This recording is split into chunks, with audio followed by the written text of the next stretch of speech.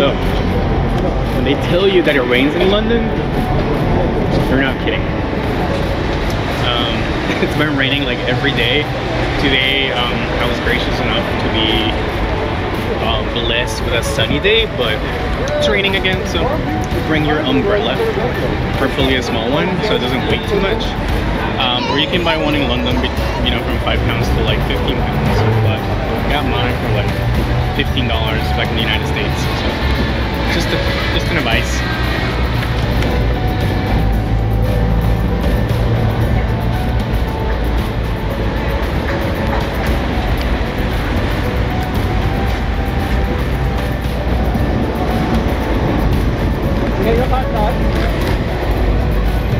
My crazy friend who took not convincing to come to London. All I did was send a text and he was like, hell yeah. Yeah. Hot done. London Bridge. Fergie. Where's she at? Creds to Fergie.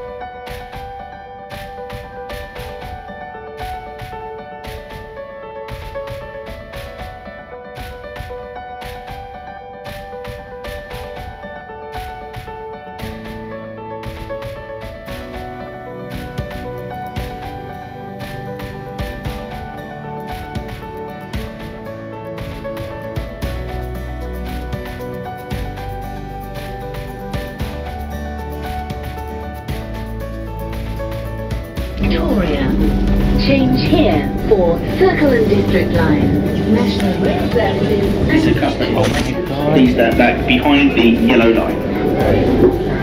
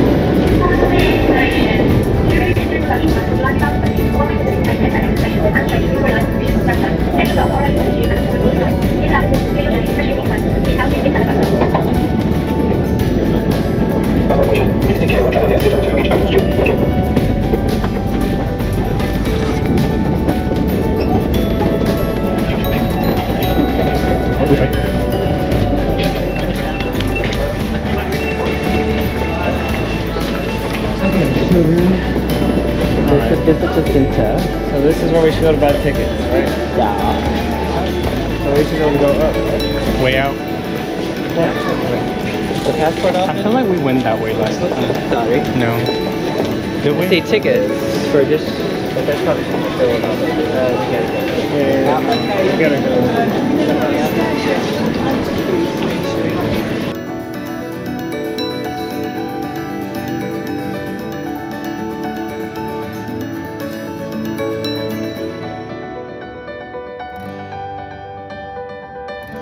Guys, I just wanted to do a video about the London Tube and how it is like super effective to get people around.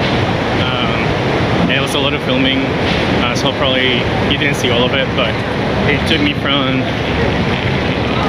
London Bridge Station to Victoria Station. I had a few changes, um, but it's a good way to get around London.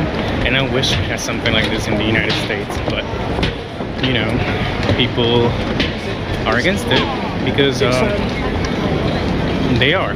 So hope you enjoyed.